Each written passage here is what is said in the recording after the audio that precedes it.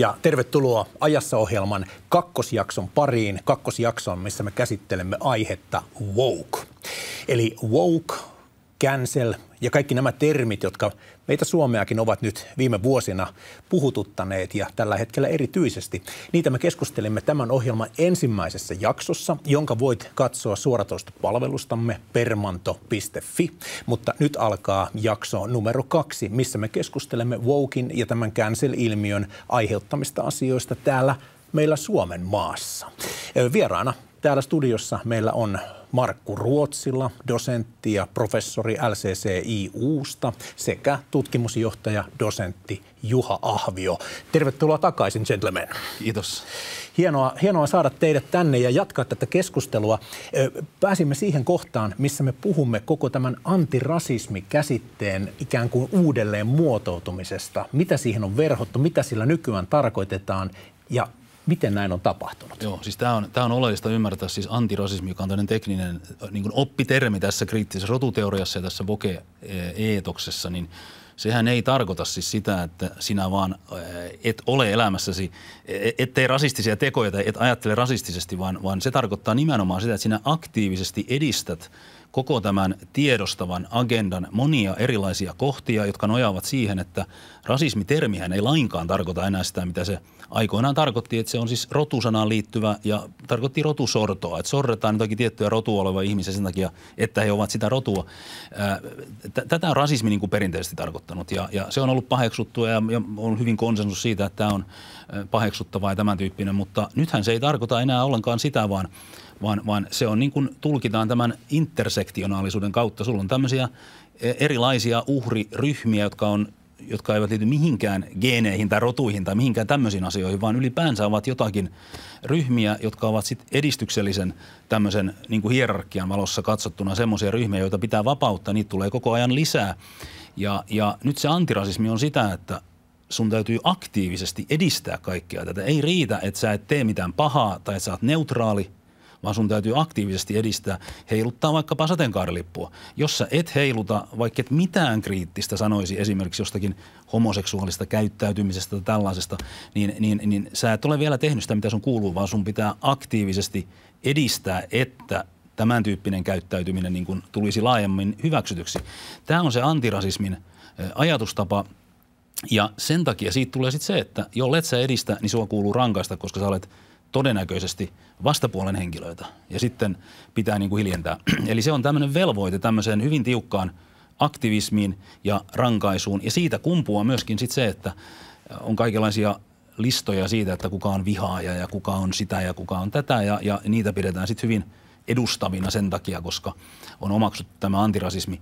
Ja se on laajalle omaksuttu sen takia, koska moni luulee, että se tarkoittaa sitä vanhaa ajatustapaa, että ei kiusata ketään, joka on erilainen kuin minä itse, mikä on täysin itsestään selvää, että ei, ei pidä kiusata ketään, joka on erilainen kuin minä. Ei, se on eettisesti niin kuin väärin ja tällä tavalla, mutta moni luulee, että tämä on edelleen sitä samaa ja siksi ajatellaan, että no mitäs niin kuin pahaa tässä on, mutta se ongelma on se, että nämä termit ei lainkaan tarkoita sitä. Ja tässä sinut vedätetään aivan jonkun muun aisan kannattajaksi ja siinä on se pahuus tässä hommassa. Niin, tässä, tässä on kysymys sanojen varastamisesta. Mm. Eli siitä, että sanoilla annetaan uusia merkityksiä. Rasismi, se perinteinen sana tarkoittaa tosiaan rotusortoa ja, ja sitä ajatusta, että joku etnisyys on biologisesti toista ylempänä ja on tällainen hierarkia olemassa. Mutta kun antirasistit, woke, ihmiset käyttää tätä ilmaisua, niin ei se tarkoita enää sitä. Sillä sanalle on annettu ihan uusi merkitys. Siihen sisältyy nyt – kaikki kristityt on rasisteja lähtökohtaisesti, koska raamattu on rasistinen. Siellä se sisältää rasistisia ajatuksia, ei sen alkuperäisen rasismisanan merkityksessä, vaan tämän, woke-ideologian merkityksessä. Ähm, kaikki tavoitteellisuus, hyvät käytöstavat, ahkera työnteko, kaikki tämä on rasismia, koska se kuulemma tulee valkoisista ajatuksista. Se äh, antirasismin ideologian mukaan ja uskonnon mukaan kaikki ihmiset, kaikki ajatukset, kaikki toiminta, kaikki käyttäytyminen, ne on kaikki samanarvoisia. Um, paitsi jos se on val- siihen liitän tämä termi valkoinen. sitten se muuttuu pahaksi asiaksi. Siitä täytyy tehdä tämä synnin tunnustus ja sitten saada synnin päästä tältä uudelta papistolta. Ja tässä on kaikissa kysymys siitä, että sanojen merkitys, sisältö ja koko ajan muutetaan ja pyritään ihmisten ajattelua sitä vähitellen syövyttämään ja muuttamaan toisenlaiseksi. No, ja myöskin tästä on hyvin paljon esimerkkejä. Ihan siis Suomeenkin on pesiytynyt näitä sanoja, jotka alkaen tästä sanasta rasismi. Ja sitten pyydetään irtisanoutumista ja, ja täytyy tuomita rasismi. Mutta kun sitä termiä käytetään, niin ei tarkoiteta sitä, mitä suurin osa ihmisistä ymmärtää. Sen ymmärtää, niin. Entäs ihmisoikeudet kenties menee tähän samaan asiaan. Kukaan ei halua vastustaa mm. ihmisoikeuksia, no. tietenkään. Mutta onko sillekin sanalle keksitty aivan uudet määritelmät? On. Esimerkiksi ihan YK on itse ymmärryksissäni niin käsitys ihmisoikeudesta, kun nythän on vallalla tämä konstruktivistinen ajattelu, että sulla ei ole mitään pysyviä olemuksia, ei ole myöskään ihmisolemusta. Mm. Siis näiden aktivistien ja tämmöisten edistyksellisten mukaan kaikki on konstruktioita ja siitä seuraa se kiusallinen johtopäätös, jos ollaan loogisia, että ei myöskään oikeasti ole mitään ihmisoikeuksia. Siinä perinteisessä mielessä, koska sehän nojaa siihen, että ihminen on Jumalan luoma olento, on ihmisolemus, joka on jakamattoman arvokas Jumalan kuvan. Se koskee jokaista ihmisolentoa.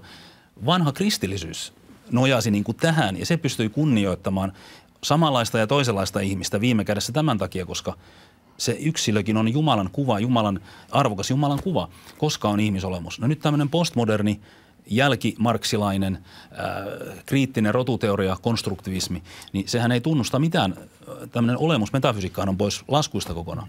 Ja, ja silloin tullaan tavallaan siihen, että ne joudutaan uusilla termeillä määrittelemään, pitää valvoa hyvin tarkkaan, mitä sä sanot, miten sä sanot, miten sä toimit.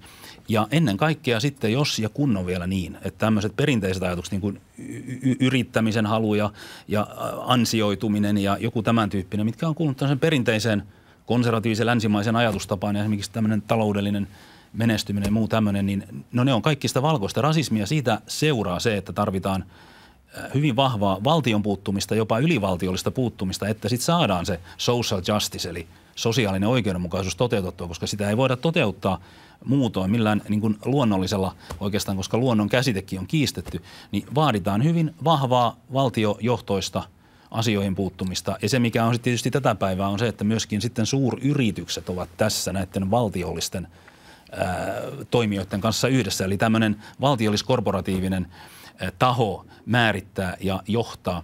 Ja tästähän päädytään sitten hyvin tämmöiseen, sanotaanko nyt hyvin sosialististyyppiseen ajatusmalliin niin kuin ylipäätään, mikä, mikä tästä niin kuin seuraa loppuviimeiseksi. Mutta mut ironista on siis se, että tämä ajatustapahan lopulta tuhoaa oikeasti esimerkiksi ihmisoikeudenkin käsitteen, vaikka se julkisesti rummuttaa jotain muuta, mutta jos rasismin käsite muuttuu, niin muuttuu ihmisoikeuden käsite, eli tämä muuttaa kaiken. Ja sen takia se on todella radikaalia. Ja tällä hetkellä niin, niin me olemme Suomessa seuranneet kansanedustaja, lääkäri Päivi Räsäsen tapausta, jossa, jossa häntä syytettiin vihapuheista. Poliisit totesivat hänet syyttömäksi, ei aihetta jatkotutkintaan, käräjäoikeuteen tämä vietiin. Kolmen tuomarin yksimielinen päätös oli, että ei aihe tapahtunut minkäännäköistä rikosta, mutta nyt vaan jatketaan. Niin, niin tässä on tullut erittäin mielenkiintoisia asioita. Muun muassa Markku mainitsemaasi tähän amerikkalaiseen vasemmiston mediaan ja vaikuttajiin. Haluatko avata taustaa tämän päiviä tukeneen järjestön, tämän ADFin Internationalin taustoja ja miksi se Yhdysvalloissa on leimattu vihajärjestöksi ja kenen toimesta? Niin, Suomessa hyvin monessa niin sanotussa valtamediassa alettiin nyt toistamiseen levittää tätä, tätä sanomaa vihajärjestö. Mm. On siis Alliance, Defense Free, Alliance Defending Freedom ja Alliance Defending Freedom International, kaksi eri järjestöä, on kristillisiä lakiasian toimistoja, mm. jotka on ollut Päivi Räsäsen – neuvomassa ja avustamassa. Ja minkälaiset tahot muun muassa tunnustavat tämän järjestön niin kuin oikeellisuuden?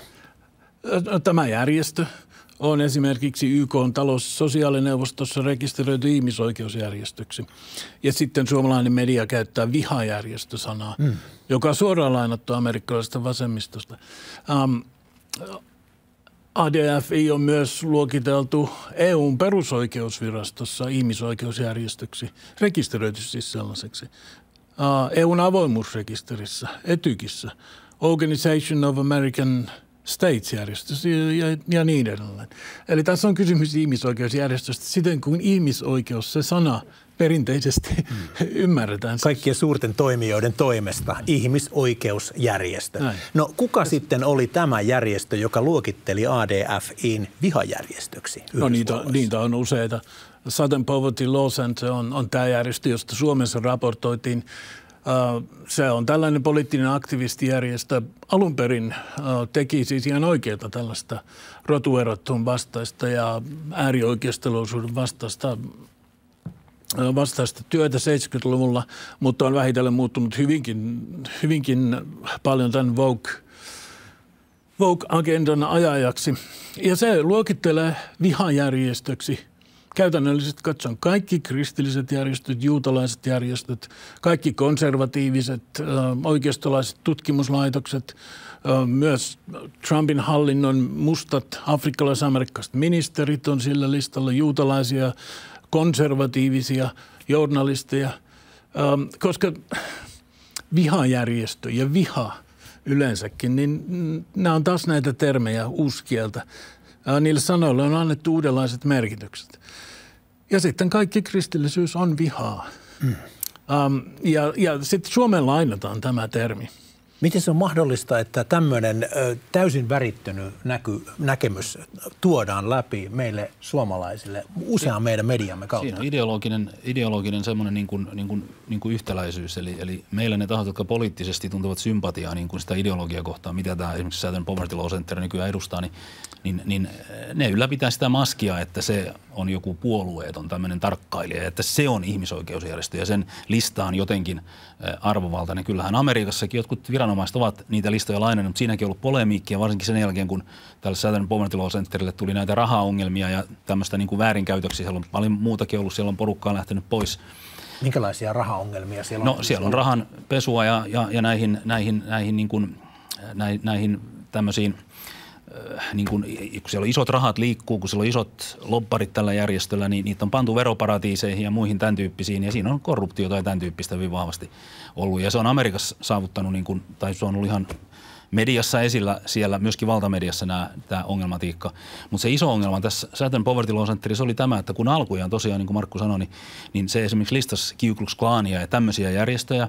Mutta sitten kun tapahtui näin, että näiden järjestöjen rooli Amerikassa yksinkertaisesti, niin sehän, sehän siis kuihtui. Siis aikanaankin niin klaanin äh, niin kuin jäsenmäärä, niin se meni ihan marginaaliseksi. Se ei ole niin kuin minkäänlaista sosiaalista – vaikutusta enää. Eli tämä on just sitä, että siellä tavallaan niin kuin olot kohenivat ja ei, ei, ei, ei menty aina niin kuin pelkästään huonoon suuntaan. Ja käytännössä tämä Saturn Poverty Law Center ää, olisi jäänyt niin kuin, niin kuin työttömäksi tässä. Ja sitten ruvettiin jatkamaan, että näitä vihajärjestöjä on pakko vaan löytyä. Ja sitten mentiin tähän, että kaikki konservatiivit, kaikki ovat näitä. Ja sitten taas voitiin näitä listoja – markkinoida ja, ja voitiin luoda sellaista hysteriaa, jotta voitiin ison rahan rahoittajien edessä edellyttää, että me vaadimme, me teemme hyvin sankarillista työtä, rahoittakaa meitä. Ja sitten on rahoitettu ilmeisesti sen takia, koska siellä myöskin sitten on katsottu, että se rahoitus kannattaa, että tämän tyyppinen propaganda niin palvelee sitten myöskin intressejä, siinä on sen sulle mulle logiikka ollut, mutta sielläkin se on tullut siis julkisuuteen, koska siinä on sitten jo näitä rajapintoja tullut, että nämä väärinkäytökset muut on pulpahtaneet niin kuin pintaan, eli se on hyvin poleminen – järjestö ja, ja kaikkea muuta kuin mitä se ehkä joskus oli, niin se, se on tänä päivänä. Ja, ja, ja näillä listauksilla, vihajärjestölistauksilla on ollut hyvin vakavia seurauksia Yhdysvalloissa.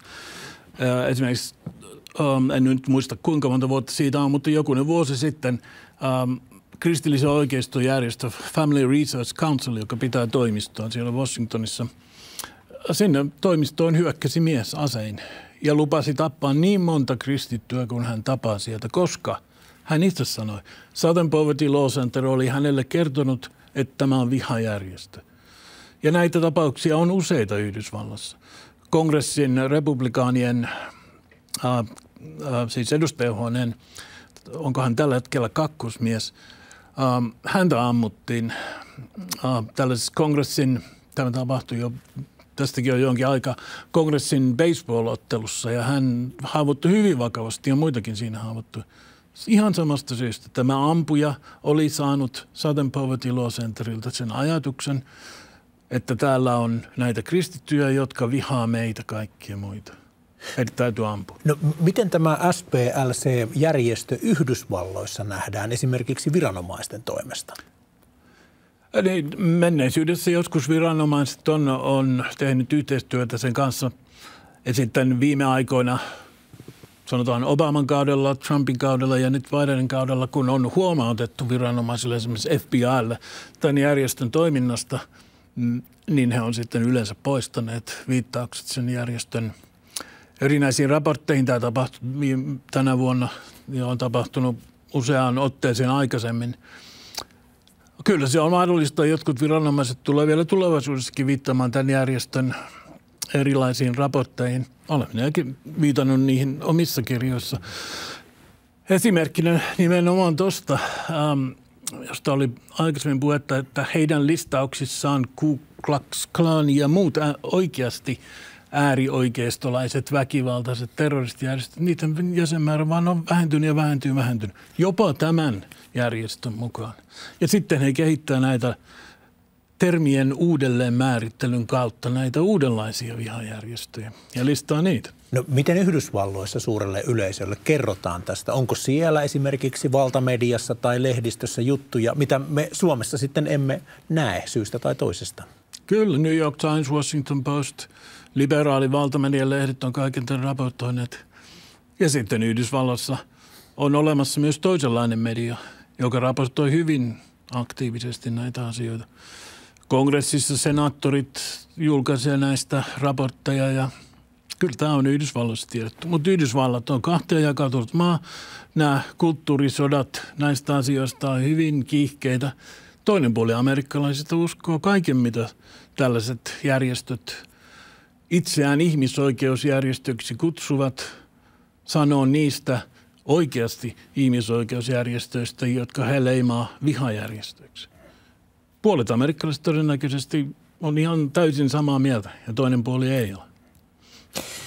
Nyt juuri kun kuvaamme tätä ohjelmaa, niin, niin Päivi Räsäsen oikeudenkäyntiin on vielä muutama päivä, eli emme tiedä lopputulemaa. Mutta mitä mieltä te olette? Sananvapaus Suomessa tänä päivänä, mikä on saanut tämän tilanteen tähän?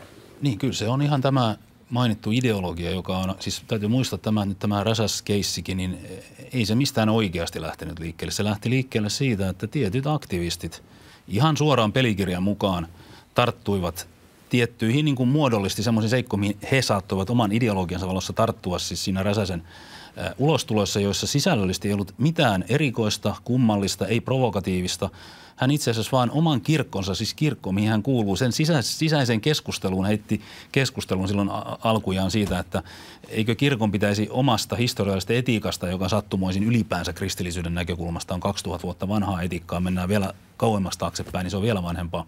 Mutta esimerkiksi vielä virallistakin luterilaisen etiikan, kymmenen käskin mukaista etiikkaa, hän, ja, ja, ja muun muassa nojaa tähän kyseisen raamatun kohtaan. Hän toi tämän esiin, että eikö kirkon kannattaisi vähän niin kuin jollain tavalla myöskin omia perusteitaan muistella riippuen sit siinä, että mihin yhteyksiin se menee tai on menemättä mukaan. Tästä se niin kuin lähti.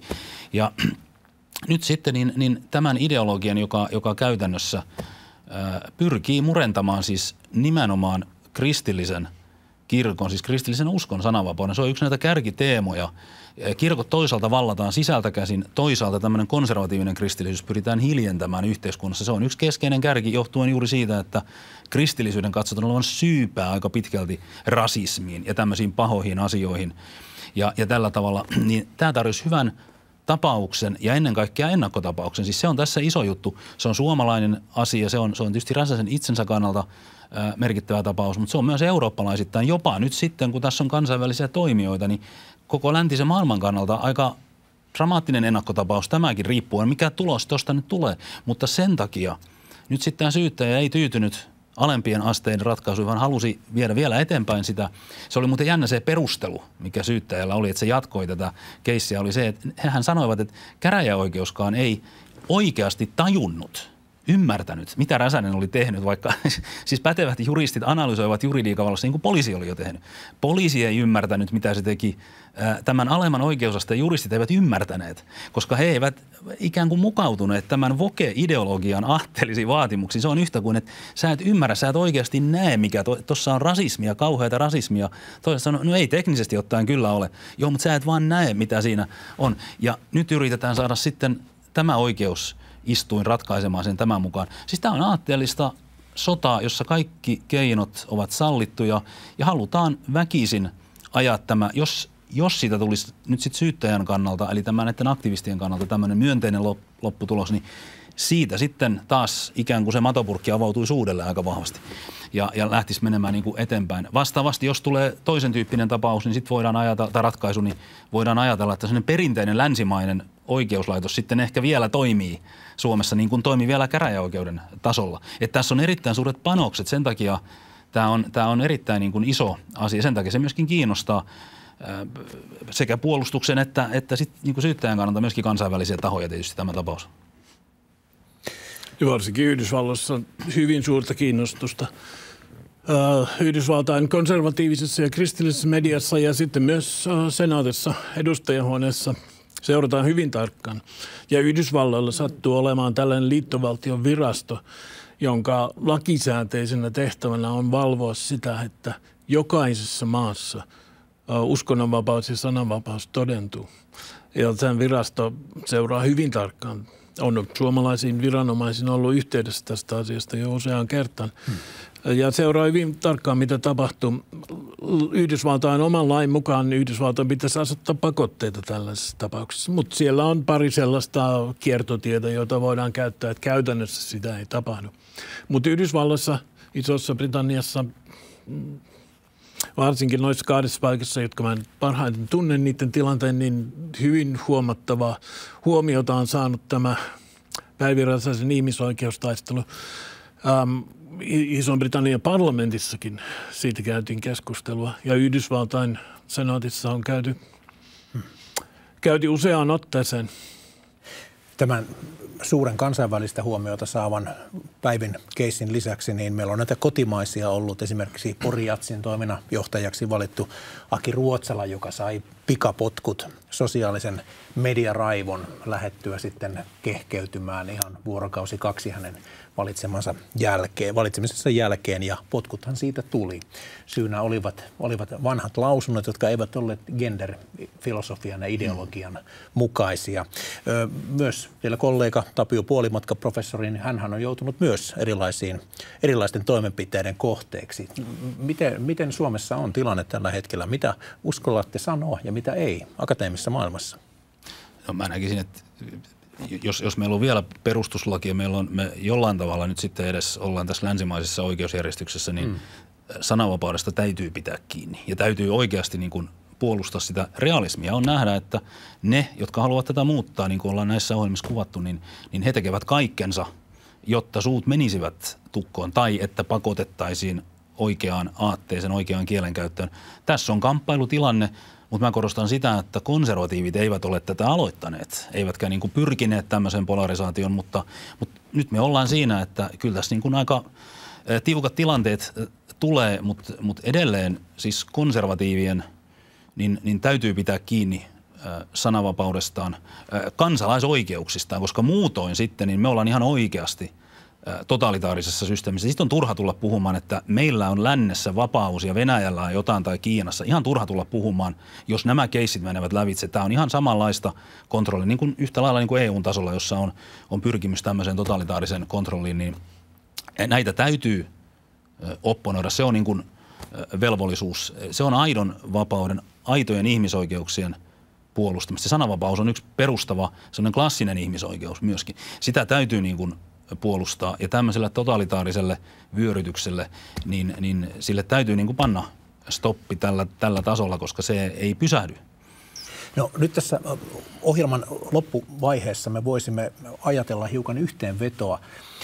Mitä me voisimme tehdä, jotta tämä valtava kahtiajako ei enää pahenisi. Mehän olemme kansakuntana tilanteessa, jossa jopa tasavallan presidentti Sauli Niinistö on useaan otteeseen ilmaissut huolensa siitä, että ihmiset tulevat yksinäisiksi, he eristäytyvät, kansa jakaantuu.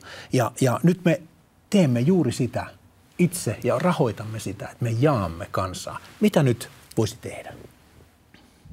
Siis ensimmäinen linja on tämä, että kyllä yhteiskunnassa täytyy oikeasti pysyä siis sananvapauden ja jotain siitä vanhasta klassisesta liberalismista. Sanon vielä nopeasti siis sen, että tämä kriittinen rotuteoriahan ei vain ole sodassa kaikenlaisia konservatismin muotoja vastaan, vaan myöskin klassista liberalismia vastaan, mikä, mikä on niin kuin Amerikassakin varsin, varsin niin kuin jo erikoista. Siis että se, on, se on hyvin vasemmalla, mutta meidän täytyy pitää kiinni siis, että nämä rakenteet säilyvät. Sillä voidaan jotakin yleensä yhteiskunnassa vaikuttaa, tuoda esiin, keskustella, argumentoida, tuoda myöskin niin kuin vastapunnusta siihen ja tavallaan valistaakin ihmisiä, että mistä tässä on oikeasti kysymys ja, ja, ja sillä tavalla niin kuin pyrkiä tasapainottamaan tätä tilannetta siten, että tämmöinen perinteinen semmoinen terve jälki, siis semmoinen tolkun ihmisyys, sanotaanko nyt mm. näin. tasavallan presidentti on tätä jossain yhteydessä käyttänyt tolkun ihmisyys, ihminen termiä, niin, niin äh, kyllä senkin äänen pitäisi päästä sitten oikeasti niin kuin esille ja, ja se painoarvo, mikä sillä on ottaen lukuun, että tämä on kuitenkin hyvin pieni radikaali ääriryhmä, joka ajaa tätä linjaustaan, niin myös pitäisi tuoda se esiin, että äh, ei se kuulu tämmöiseen yhteiskuntaan, että tämmöinen ääriryhmä pakottaa enemmistön tämmöiseen pakkototalitarismiin. Markku Ruotsila. Niin, kyllähän sitä kautta saadaan polarisaatio pois, jos kaikki suostuu käyttämään tätä woke-uuskieltä. Mutta sitä ei tule ikinä tapahtumaan. Eli polarisaatio jatkuu niin kauan, kun, kun yritetään pakottaa käyttämään, mukautumaan siihen woke-kieleen. ei saa antaa varastaa sanoja. Täytyy vaan puhua suoraan. Ei se tarkoita sitä, että ollaan, jos puhutaan suoraan, niin ei, ei se tee – ihmisestä rasistia tai fasistia tai kristillistä fasistina on näitä amerikkalaisia termejä, jotka Suomeen on jo tullut. Tai homofobikkoa tai mikä tämä on, tämä on pitkä lista, Hillary Clinton käytti tämä silloin alun perin. Ei, ei se tarkoita sitä. Eli täytyy vain uskaltaa puhua suoraan. Mm niistä asioista, jotka on itselle tärkeitä. Niille vogue on toiset asiat tärkeitä ja he saa kyllä puhua niistä suoraan mun puolesta. Mutta länsimainen sivilisaatio katoaa sinä hetkinä, kun enemmistö kansalaisista hiljennetään erilaisilla uhkauksilla tai, tai, tai ihan suoraan erottamalla työstään, eväämällä maksuliikenne – niin kuin cancel-ilmiössä tuntuu mm. tapahtuvan nyt kaikkialla. Ja sen, sen takia Päivi Räsäsen oikeustapaus on, on tämän hetken näistä ihmisoikeustaistoista kaikkein merkittävimpiä. Yhdysvalloissa ja Isossa Britanniassa on ollut vastaavia tapauksia, joissa Vogue-mieliset hävisi. Mm. Nyt he on löytänyt tämän tapauksen, jos he toivoo voittavansa. Siis näitä näissä kaikissa tapauksissa, melkein kaikissa tapauksissa, tämä sama järjestö siellä taustalla toimii, Alliance Defending Freedom, lakiasiantoimisto, joka Yhdysvalloissa voitti nämä suuret taistot. Esimerkiksi koloradolainen leipuri Jack Phillips, ähm, joka Colorado osavaltio haastoi oikeuteen siitä, että hän ei kuulemma suostunut myymään samansukupuolisille kakkua – Oikeasti hän suostui kyllä myymään ihan minkä kakun vaan, mutta hän ei suostunut omin käsin kirjoittamaan sen kakun päälle tätä koristelutekstiä, jossa julistettiin samansukupuolisten avioliitto. Hän on kristitty, hän ei sellaista tekstiä kirjoittanut. Tämä vietiin oikeuteen. Alliance Defending Freedom-järjestö oli hänen apunaan ja hän voitti korkeimmassa oikeudessa. Eli tämä oman tunnon vapaus, mistä jo aikaisemmin ohjelmassa puhuimme. Näistä asioista täytyy vain taistella. Muuten nämä kaikki asiat katoaa. Niin. Mm. Kiitoksia. Tämä on ollut valtavan hyvä keskustelu. Dosentti ja tutkimusjohtaja Juha Ahvio ja dosentti ja professori Markku Ruotsila. Oli hienoa saada teidät tänne ja kiitos sinulle, rakas katsoja. Olet ollut seuraamassa kahta jaksoa ajassa ohjelman Woke ja Cancel aihetta. Ja löydät nämä molemmat jaksot suoratoistopalvelustamme permanto.fi. Kiitos seurasta ja seuraavaan kertaan. Hei hei!